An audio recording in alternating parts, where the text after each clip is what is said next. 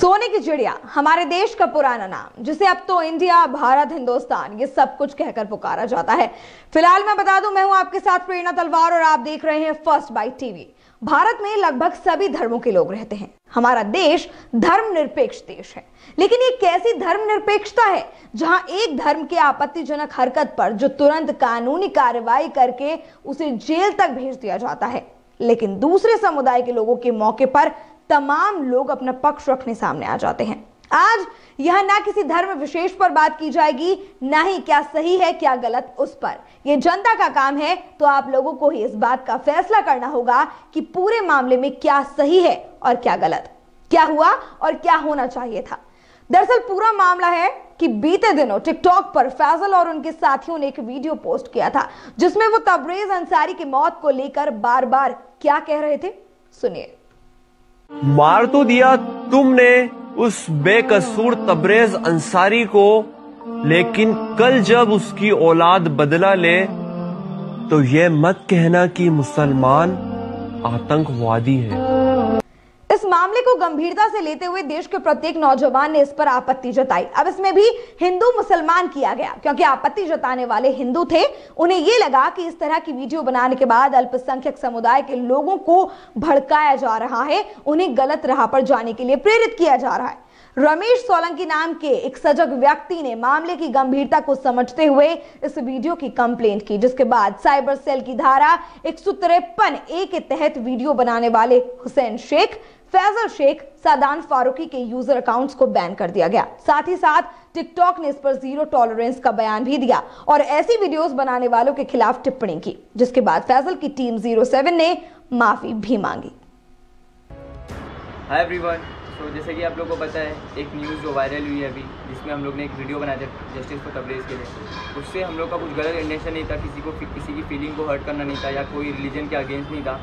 बस, और हम लोग यहाँ पे एक डिजिटल इन्फ्लुएंसर थे, और हम लोग का मोटिव है पीस ह्यूमैनिटी और लव फैलाना। और हम लोग किसी की फीलिंग को हर्ट नहीं करना चाहते। और हम लोग अपने इंडियन कॉन्स्टिट्यूशन को बहुत रिस्पेक्ट करते हैं, और हम लोग को पता है कि डिसीज़न कुछ हम लोग के अगेंस्ट नहीं होगा। और बस यहाँ पे भी आप लोग का प्यार चाहिए, और आप लोग का सपोर्ट चाहिए। अगर आप लोग को लगता है हम लोग सही है तो प्लीज़ गाइस कीप सपोर्टिंग और बस और हमारा कोई गलत इंटेंशन नहीं था कि ऐसा हो और ऐसा कभी हम लोग सोचेंगे भी नहीं। तो कीप सपोर्टिंग एक सेक्युलर कंट्री और डेमोक्रेटिक कंट्री है और हम लोग को पता है कि सब मिल के रहना चाहिए और हम लोग कभी किसी का बुरा नहीं चाहे ना किसी का गलत चाहे तो प्लीज़ अभी आप लोग का टाइम है कि आप लोग आप लोग का सपोर्ट चाहिए बस। बाय बाय लेकिन ये मामला यहाँ नहीं थमा। अब ये वीडियोस पूरे देश में देखी जा चुकी थी। हिंदू संगठन के लोगों में आक्रोश था क्योंकि जिस वीडियो पर इतना बवाल हुआ था, उसके माध्यम से आतंकवाद को बढ़ावा दिया जा रहा था। अल्पसंख्यक समुदाय के लोगों ने भी टीम ज़ीरो सेवन का विरोध किया। इस पर रांची की ऋचा भारती ने फेसबुक पर पोस्ट किया, जिसमें उन्होंने क्या लिखा था, ये हर जगह से मिटा दिया गया। लेकिन आप सुनिए उन्हीं के मुँह से कि जिस फेसबुक पोस्ट को लेकर जो वो कह रही हैं कि उन्होंने नहीं लिखा, शेयर किया है, उस पर उन्हें धार्मिक भावनाओं को ठेस पहुँचाने के लिए आईपीसी की धारा 295 ए के तहत जेल भेज दिया गया। पहले सुनिए, क्या था वो फेसबुक पोस्ट रिचा, जब आपने फेसबुक पर पोस्ट किया था तो क्या आपको लगा था जो मामला इतना बढ़ जाएगा?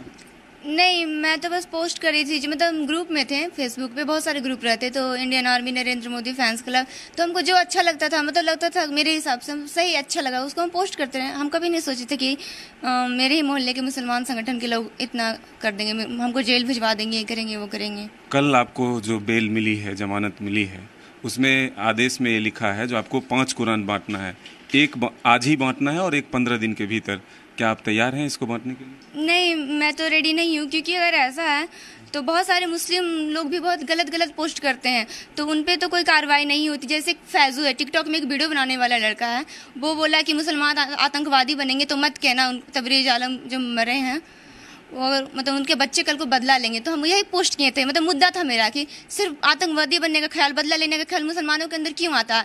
ऐसा रहा तो कश्मीरी पंडित इतने मरे, हिंदू कश्मीर से इतने लापता हो गए, सब गायब हो गए, पच्चीस परसेंट थे, अब दो परसेंट भी नहीं बच रहे तो कभी उनके मन में आतंकवादी बनने का ख्याल क्यों नहीं आता? ये सिर्फ़ मुसलमान क्यों बनते हैं आतंकवादी? यही सब मेरा क्वेश्चन था पोस्ट था कि आतंकवादी बनना बदला लेने का भावना सिर्फ़ मुसलमानों में क्यों आता है? कोर्ट ने इसी आदेश पर आपको जमानत दी है जो आपको पाँच कुरान बांटना है। अगर आप नहीं नहीं, नहीं बांटना चाहते क्योंकि अगर ऐसा आज कुरान बंटवा रहे कल बोलेंगे इस्लाम तुम इस्लाम स्वीकार कर लो ये नमाज़ पढ़ो ये करो वो करो। कभी किसी मुस्लिम से ऐसा करवाया गया कि तुम हिंदू के सनातन धर्म को गलत बोला है तुम रामायण का पाठ करो दुर्गा पाठ करो हनुमान चालीसा पढ़ लो एक बार? ऐसा कराया जाता तो सिर्फ़ उन लोग को तो फ़ायदा हो जाता अल्पसंख्यक है। हाले कुछ भी गलती करते तो बोलते हैं, मुस्लिम है। हमको मुस्लिम समझ के ऐसा कर दिया गया हिंदुस्तान में। सिर्फ़ उन लोग को आ जाता है कि हम मुस्लिम हैं, हमको कुछ कुछ कर नहीं सकता टॉर्चर नहीं कर सकता। रिचा भारती की फेसबुक पोस्ट पर बवाल मचने के बाद पुलिस ने रिचा को हिरासत में ले लिया। रिचा ने एंटिसिपेटरी बेल के लिए अप्लाई किया, जिसके बाद न्यायिक दंडाधिकारी मनीष कुमार सिंह की अदालत में सुनवाई हुई। कोर्ट ने कंडीशनल बेल के तहत अनोखी सजा सुनाते हुए रिचा को पंद्रह दिनों के अंदर पाँच कुरान बांटने के लिए कहा, जिस पर एक महा बहस खड़ी हो गई है। मसला यह है कि कोर्ट की कंडीशनल बेल में कुरान बंटवाना कहाँ का न्याय है? मौलाना और मुस्लिम समुदाय के लोगों का कहना है कि कुरान बांट देने से रिचा जो कि एक हिंदू लड़की है, उनका क्या चला जाएगा? जिस पर जनता की तरफ़ से बहुत से सवाल आ रहे हैं। मुस्लिम समुदाय के लोगों ने एएमयू में मंदिर बनने का विरोध किया। सवाल यह भी है कि अगर कोई मुस्लिम व्यक्ति सनातन धर्म या फिर अन्य हिंदू रीतियों को लेकर आपत्तिजनक पोस्ट करता है तो क्या उसे गीता बांटने के लिए आदेश दिया जाएगा? रिचा का एक छोटा सा पोस्ट एक धार्मिक मामला बन चुका है। लेकिन क्यों? धर्म को लेकर विवाद किस लिए? क्या देश में धर्मवाद इतना ज़्यादा बढ़ गया है कि आपसी भावनाओं को ठेस पहुँचाने की सजा अब आरोपी की धार्मिक भावनाओं को ठेस पहुँचा कर दी जाएगी। फ़िलहाल अगर ऋचा कोर्ट की इस सजा की अवहेलना करती है तो जमानत रद्द हो सकती है। इसके लिए उन्हें अब हाई कोर्ट जाना होगा। सात हज़ार के दो निजी बॉन्ड जमा करने के बाद सोमवार को रिचा जेल से बाहर आ गई हैं, लेकिन पंद्रह दिन के भीतर उन्हें पाँच रिसिप्ट कोर्ट को दिखानी होंगी। लेकिन मुद्दा वही की वही है कि अगर रिचा को कुरान बांटने की सजा मिली है तो क्या अगली बार मुस्लिम समुदाय के लोग धर्म को लेकर कोई आपत्तिजनक पोस्ट करते हैं? तो क्या उन्हें गीता बांटने की सजा सुनाई जाएगी? और एक और सवाल यहाँ पर है कि तबरेज अंसारी के नाम पर आतंकवाद को बढ़ावा देने वाली टीम ज़ीरो सेवन जेल की सलाखों के पीछे क्यों नहीं गई? इन सब पर आपका क्या कहना है? हमें कमेंट बॉक्स में लिखकर ज़रूर बताएगा।